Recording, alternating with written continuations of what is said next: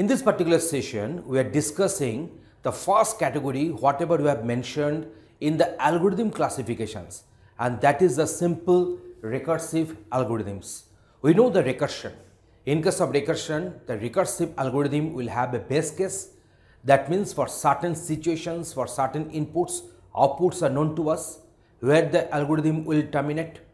And then in the next part, we will be having a recursive call which will be calling the function itself either directly or indirectly.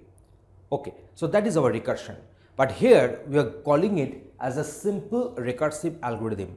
We are using this term simple because here we are having multiple other algorithm types which are inherently recursive. If you consider your backtracking algorithm that is inherently recursive.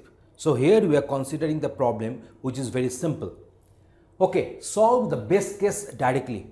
We know the best case I discussed that for certain situations, for certain inputs, outputs are known to us. So here the solve to the best case will be done directly.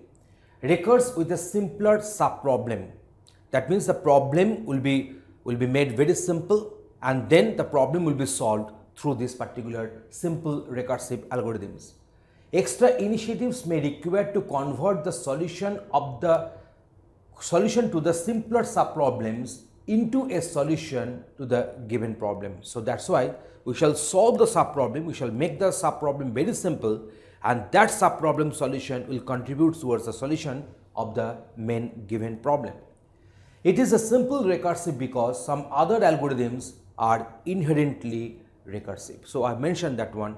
If we consider the backtracking algorithm that is the in, uh, inherently recursive, but here this in this particular category we are talking about a very simple recursive algorithms. As an example, we can go for this.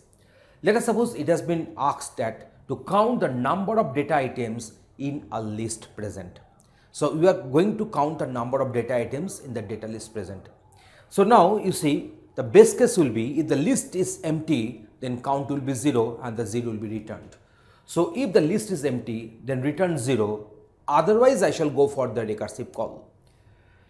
Other than the first item that means if you consider the first item I am just taking the first item away count the number of remaining data items in the list and if we can count the number of remaining data items in the list then add 1 to the result because the first item count will be added and that value will be returned.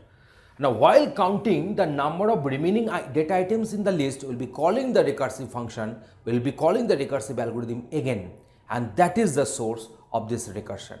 So here we have discussed what is a simple recursive algorithm and we have explained that one with one very simple example. So please watch our next videos. There will be going for other algorithm classifications. Thanks for watching this video.